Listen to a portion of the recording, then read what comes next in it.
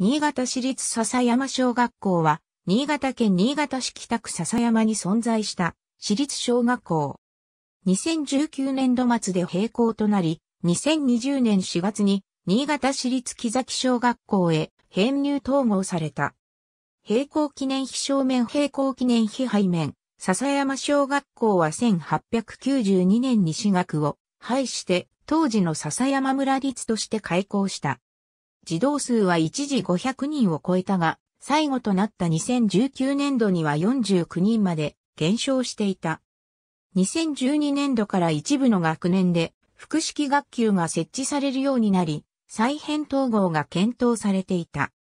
2019年度末で閉校となり、128年の歴史に幕を下ろした。閉校にあたり、正門脇に閉校記念碑が建立され、通学区域の全世帯に並行記念誌と並行記念品が配布された。また、児童の作詞により、オリジナルソング、思い出いっぱい128年が制作され、並行記念式典や感謝祭で合唱が披露された。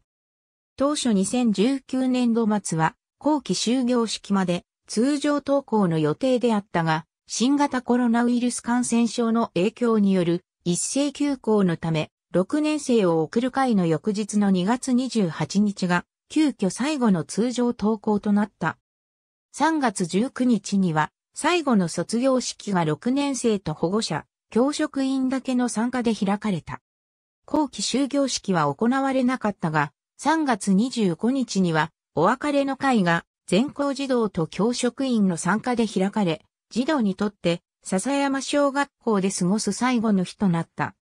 並行時の通学区域は、笹山、笹山東、横戸井の全部と裏の入りの大半及び、木崎、内島見の一部。開校した1892年4月の通学区域は、笹山村の全域であった。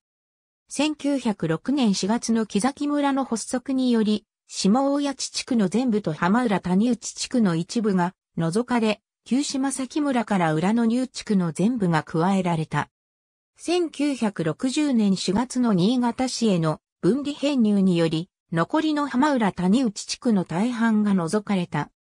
並行した2020年3月の通学区域は、笹山地区、横戸井地区、裏の入地区であった。